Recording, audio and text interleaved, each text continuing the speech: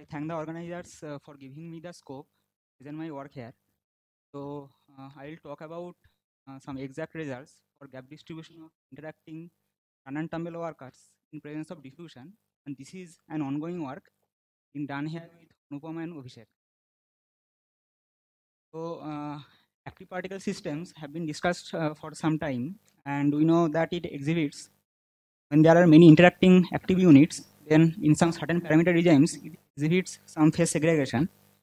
Now there has been some theoretical understanding in the hydrodynamic level but what really is lacking is a understanding from the microscopic dynamics how we can uh, actually describe or characterize this kind of segregation.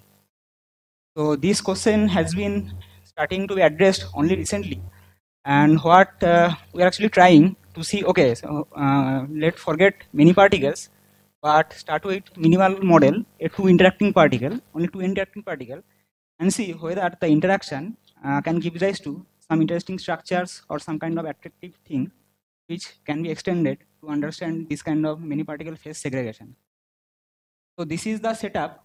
So uh, we have a one-dimensional ring and we have two interacting tumble walkers on this ring. The interaction is hardcore interaction so that they cannot cross each other. And the uh, dynamics of individual particle is a particle goes on with a, some constant speed v and with some rate w changes the direction of the speed, uh, direction of its motion is 1d, so only plus and minus direction is possible. And we ask that uh, when these only two particles are present, uh, so whether we can understand what is the feature of their gap. I mean, when there is two particle on a ring, so only the relevant variable, the dynamical variable is the gap between them. The gap statistics should reveal some certain features about their interaction. So uh, this setup has been originally proposed a uh, couple of years back by uh, Evans in this paper. So what they have done, they have taken uh, a periodic lattice and put two non-tumble walkers on that and the dynamics is only the particles can hop a single side or with some certainty they can tumble. So there is no diffusion or polar dispersity anything involved.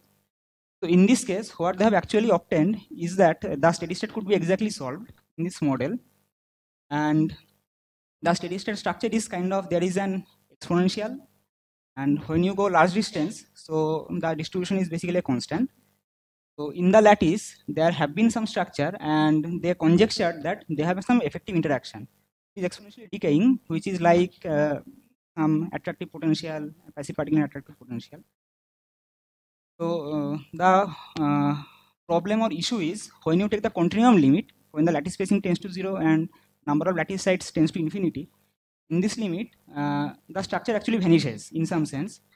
So you see in this continuum li limit, either the two particles, they are on top of each other or they are uh, no interaction. They have no spatial dependence. So really, in some finite length scale, nothing interesting is happening in this model. We ask that what is the minimal model that uh, exhibits some non-trivial spatial structure in continuum case and in particular what is the consequence if we see the effect of external noise. So uh, even this model when you introduce noise this can be exactly solved in lattice and continuum in both cases. And we see that uh, in the lattice these are uh, n is the separation between the uh, two particles. Z1 and Z2 are two length scales which uh, both are less than 1 so it is exponentially decaying again. And uh, you compare with the result with Evans this Z2 is the new length scale which appears in presence of diffusion. And as the lattice diffusion constant tends to 0 this Z2 also goes to 0 which is kind of consistency. And if you take the continuum limit the interesting thing is that this structure survives. Unlike the previous case where there is no structure in the continuum limit you have some exponentially decaying distribution of the gap. And this is the two length scales which appears in presence of diffusion and both of them are proportional to the diffusion constant. So as soon as you introduce a slightest diffusion, you have some structure and it is proportional to the diffusion. And this is the uh, distribution, uh, so match. Okay, So we also studied the relaxation. So what you is to do, you have to set up the equation for this uh, gap, this kind of um, telegrapher equations, uh, four set of coupled telegrapher equation, some boundary condition, and it's difficult to solve, but still using Mathematica, some result can be obtained. And we have seen that uh, the relaxation that actually uh, depends on the length scale. I mean, uh, when the length is very small, the relaxation is constant and it is given by the tumble rate, the rate at which a particle changes its direction. And as you are increasing the um, length, the relaxation actually attains some non-trivial dynamical exponent. The dynamical exponent for small, small system it is 0 and for very large system it is 2. As, and as conjectured by this paper, so we can also find an effective attractive interaction between these two particles. I mean, assume these particles are passive, but then which kind of interaction gives rise to this kind of steady state? This is the attractive uh, effective potential, this takes this kind of form. So this is the effective potential, and this has an attractive core here. And actually, uh, one of the motivation is to see whether this kind of attractive potential, when attractive two-body potential, when applied for many particle system, can give rise to condensation. So this is uh, what needs to be seen. So we have some results uh, at present, mostly numerical results on infinite uh, continuous line. So there are a very rich structure is obtained in the long time limit. For example, uh, actually the results can be segregated in two parts. One is when the tumble rate is very small and when second is the when the tumble rate is very high. So the small tumble rate, yes, there is this kind of structures. So uh, you see that uh, this is uh, the distribution of the gap between the two tumble occurs for different times. And if you try to rescale it in a diffusive manner up to some certain point they fall on each other. But after that suddenly a part some a valley appears and it moves forward with a with some certain velocity. And this same feature is there irrespective of diffusion. So even this is for d equal to 0 this is for some non-zero d but we see that this uh, segregation of the valley appears around the same value uh, 15 or 16 and the rest part actually falls. And one uh, point to see is that at, when the gap is very close to zero, so there is sudden, I mean, not really jump, but the particles really tend to, uh, uh, even if it is infinite line, so there is no steady state, they can go as far away as they can, but they really want to stay close to each other. So the effective attractive interaction is still working even in this case. Now uh, something uh, remarkable happens when you increase the tumble rate.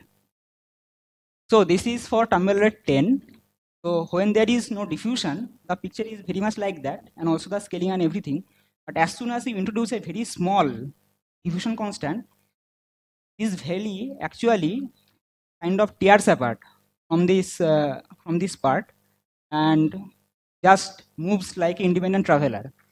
And this thing, I mean, uh, irrespective of diffusion, d is here 0.1 here, it is 1. And even for larger values of the diffusion, you see this kind of part this is traveling part that is going on and we don't actually so far have any theoretically we cannot understand why this is happening and one interesting thing is that uh, we expect that as the uh, tumble rate increases so the particle should behave in a more, like more passive particle.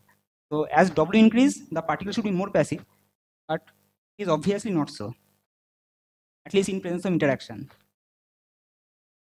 So uh, the uh, main theme is diffusion has some important role in the particle gap statistics and when there is some very high tumble rate some very non-trivial feature is observed and at present we are trying to understand analytically that whether this could be explained and both uh, this thing and also this whether it could be explained.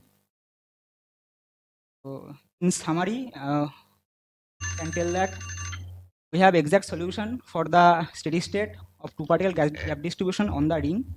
And from there we can extract an effective word interaction. Also, we have seen that there is a relaxation which uh, actually uh, the relaxation occurs the dynamic exponent which is depends on the length scale. And in the infinite line case, the distribution, the particles really stay close to each other, but as well as they also exhibit a diverging or a, a traveling mode. And in particular, for larger tumble rates, the system tends to become more active. So this is what